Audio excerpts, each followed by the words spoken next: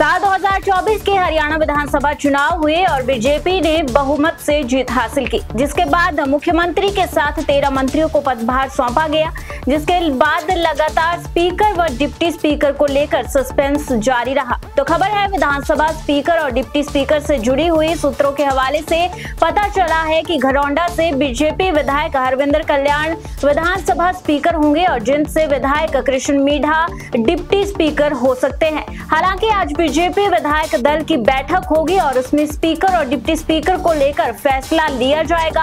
हालाँकि कयास लगाए जा रहे हैं कि नाम फाइनल कर दिए गए हैं और ऑफिशियली कल इस पर अनाउंसमेंट कर दी जाएगी। आपको बता दें, कल से विधानसभा सत्र शुरू होने जा रहा है और सत्र से ठीक पहले बीजेपी विधायक दल की बैठक आज शाम पाँच बजे मुख्यमंत्री आवास संत कुटीर पर होगी।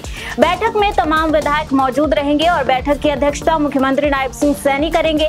कहीं न कहीं इस बैठक में प्रदेश अध्यक्ष मोहनलाल बडौली की भी मौजूद रहने की उम्मीद जुटाई जा रही है। बैठक में आने वाले सत्र की रणनीति पर चर्चा की जाएगी। स्पीकर और डिप्टी स्पीकर पर चर्चा की जाएगी। और नब्बे के नब्बे विधायक शपथ लेंगे और प्रोटेन स्पीकर रघुवीर कादियान तमाम विधायकों को शपथ दिलाते हुए नज़र आएँगे, जिन नब्बे विधायकों में तेरह महिला विधायक शपथ लेंगी, जिनमें शक्ति रानी शर्मा, विनेश फोगाट पहली बार विधानसभा में पहुँचे हैं। आपको बता दें, करीब चालीस विधायक ऐसे हैं जो पहली बार विधानसभा पहुँचे हैं। ताज़ा अपडेट्स व बड़ी खबरों के लिए सब्सक्राइब करें आज प्रकाश टीवी और बेल आइकन दबाना ना भूलें।